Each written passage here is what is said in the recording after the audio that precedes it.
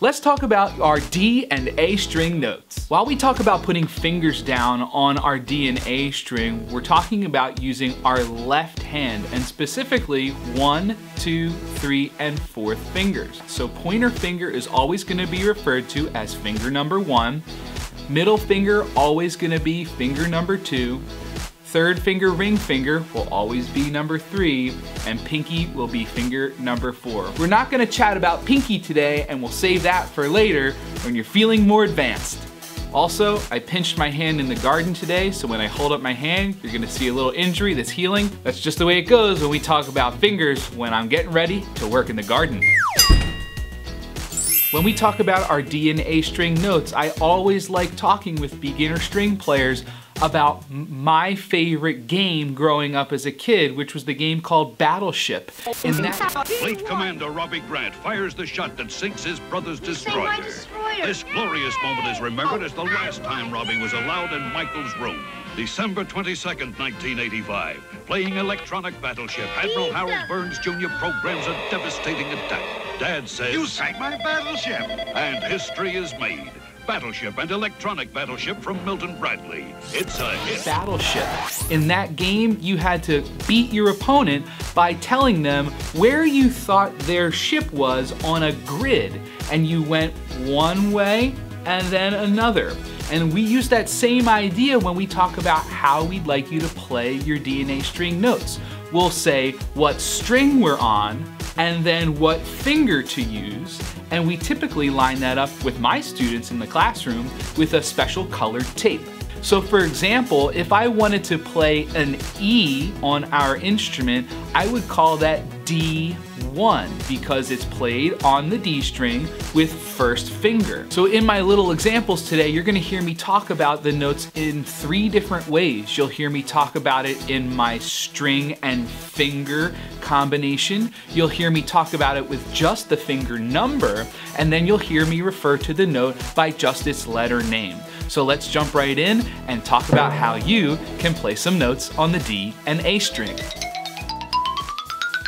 All right, starting off for my violin players on the D string, we're gonna start here with open D, highlighted in red.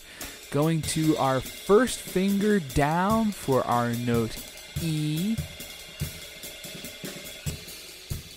Two fingers down on the D string for F sharp to three fingers down on D string for our note G. And then we head over to our A string on the violin, highlighted here in red. Then we put down one finger on the A string for the note B. Two fingers on the A string for the note C sharp and finishing out with three fingers on the A string for our note D. Over to our D string for viola players, very similar to violin land, where we're starting with open D, highlighted here in red. Going to first finger on the D string for our note E. Headed to two fingers on the D string for F sharp. Finishing it out with three fingers on D string for our note G. Jumping over to our A string on the viola, which we'll highlight as an open string in red.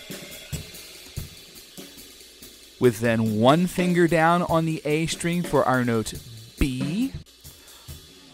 Followed by two fingers down on the A string for our note C sharp. And finishing out with three fingers down on the A string for our note D let me tell you a quick silly story about how our hand should look when we're playing some of these D and A string notes.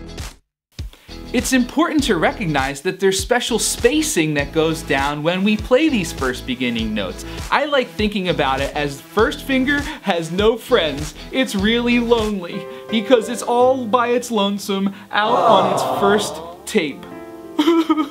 Second and third finger, they are best friends.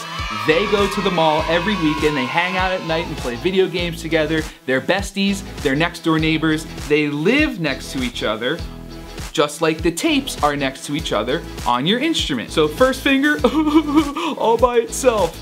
then second finger and third finger should be placed next together, regardless of whether you're on the D or A string in first position. So keep in mind, as you're working through this stuff, totally cool to go and scribble in anything you need to in your music in order to be able to play it successfully. But a goal will be for you to start eventually working towards not labeling your notes and being able to read music notes just like you can read letters when you read a book to form words. My suggestion to you would be to start memorizing where your open strings sit on the lines and spaces that we call a musical staff, and then work from there.